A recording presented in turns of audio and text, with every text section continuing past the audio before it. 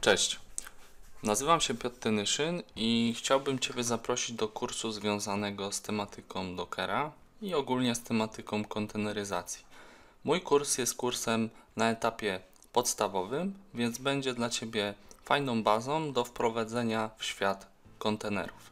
W moim kursie dowiesz się, jak przygotować sobie środowisko do pracy, pracując na systemie Linux lub Windows. Powiemy sobie, czym jest Docker, omówimy jego architekturę, porównamy Dockera na przykład z maszyną wirtualną. Pokażę Ci, jakie podstawowe polecenia używać do pracy z kontenerami.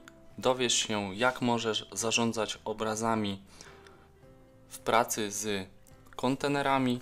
Dowiesz się, czym jest cykl życia kontenera. Pokażemy sobie, jakie polecenia używamy w cyklu życia kontenera. Dowiesz się, jakie są rodzaje sieci w kontenerach i stworzysz własną sieć i pokażę Ci, jak możesz zarządzać tymi kontenerami w sieci. Dowiesz się, czym są wolumeny i do czego można je wykorzystać w pracy z Dockerem. Dowiesz się, w czym jest Dockerfile. Stworzymy swój własny obraz opierający się o naszego własnego Dockerfile'a. Powiemy sobie też pokrótce, czyli zrobimy takie wprowadzenie do Docker Compose. Powiemy sobie, czym jest Docker Compose i pokażemy, jak możemy użyć Docker Compose do pracy z kontenerami.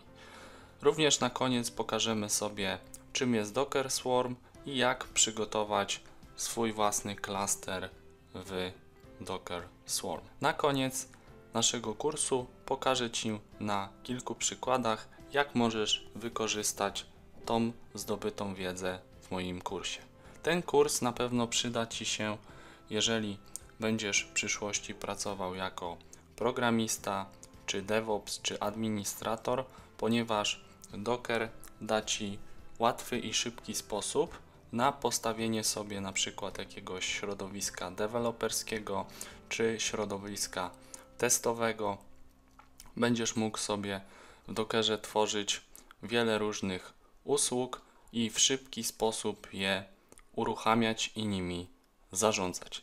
Także serdecznie Ciebie zapraszam do mojego kursu związanego z tematyką kontenerów.